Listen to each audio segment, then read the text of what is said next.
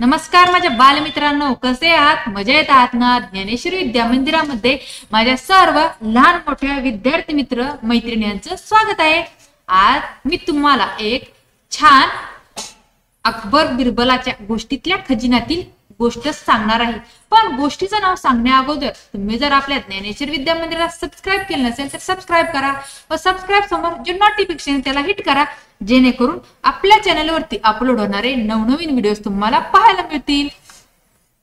तसेच अकबर बिरबलाचे ह्याच्या अगोदरच्या कथा तुम्हाला पाहिजे असतील तर तुम्ही आपल्या चॅनलवर जाऊन पाहू शकता. आजच्या आपल्या कथेचं नाव आहे सत्तावीसातून नऊ गेले. काय गोष्टीचं नाव आहे? सत्तावीसातून नऊ गेले. बादशाच्या दरबारातील नेहमीची कामे संपली होती तरी दरबाराची वेळ काही संपली नव्हती. खरं तर बादशाच्या दरबारात असा रिकामा वेळ क्वचितच मिळायचा पण जेव्हा मिळायचा तेव्हा त्याचा वापर बादशाह गप्पा गोष्टी आणि मनोरंजनासाठी करायचा. तसा आज काही दरबारात मनोरंजनाचा कार्यक्रम नव्हता. अशा वेळी आपल्या दरबारातील लोकांची परीक्षा घ्यावी म्हणून बादशाने सर्वांना एक प्रश्न विचारला. सत्तावीसातून नऊ गेले तर गेले तर बाकी किती राहणार? अगदी साधा गणिती प्रश्न वाटत होता. खर तर या प्रश्नाचे उत्तर काहीच अवघड नव्हते. त्यामुळे बादशाने हा प्रश्न विचारल्याबरोबर दरबारातील अनेकांनी बादशाला मूर्खात काढले. जराही वेळ न लावता अनेकांनी या प्रश्नाचे उत्तर अठरा असल्याचे सांगितले.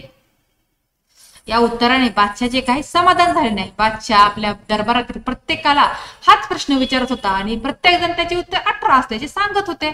आपलं उत्तर बरोबर असूनही बादशाचे समाधान का होत नाही हे काही त्या दरबारी मंडळीला कळत नव्हते. शेवटी बादशाची नजर बिरबलाकडे गेली. आणि बादशाने बिरबलाला हाच प्रश्न पुन्हा विचारला तुला तरी माहीत आहे का बिरबल सत्तावीसातून नऊ गेल्यावर काही बाकी काय उरते ते?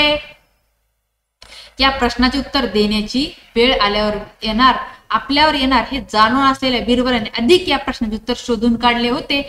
बिर बादशाने प्रश्न विचारताच बिरबल गालात हसला आणि मनाला मला माहीत आहे सरकार माहीत आहे तर सांग मला. मग सत्तावीसातून नऊ गेल्यावर बाकी काय उरते? आता बिरबल काय वेगळं सांगणार? म्हणून दरबारातील सर्वांच्या नजरा बिरबलाकडे लागल्या. महाराज महाराज सत्तावीसातून नऊ गेल्यावर बाकी दुष्काळ उरतो.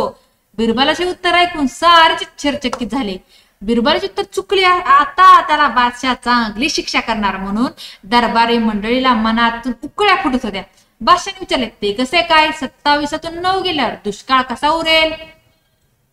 सोपा आहे महाराज बिरबल सांगू लागला. सरकार एकूण नक्षत्रे सत्तावीस आहेत. त्यातील पावसाची नक्षत्रे फक्त नऊ आहेत.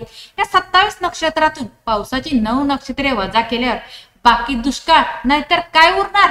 बिरबलाच्या उत्तराने बादशाह सारेच खुश झाले आणि सर्वांनी बिरबलाचे कौतुक केले. कौशल्य किंवा तात्पर्य म्हणा बोध म्हणा नक्षत्राबद्दल असलेल्या सामान्य ज्ञानाचा वापर करून बिरबलाने येथे बादशाच्या प्रश्नाचे उत्तर दिले आहे. वजाबाकीसाठी बादशाने सत्तावीस आणि नऊ हे दोन अंक वापरून वापर करून याचाही बिरबलाने येथे विचार केला. तर अशा प्रकारे सत्तावीसातून नऊ गेले. ह्या प्रश्नाचं बिरबलाने किती छान उत्तर दिलं. आजचा जर ही कथा तुम्हाला आवडली असेल तर कथेला जास्त शेअर करा. चॅनलवर नवीन असताना चॅनलला सबस्क्राईब करा. धन्यवाद! you.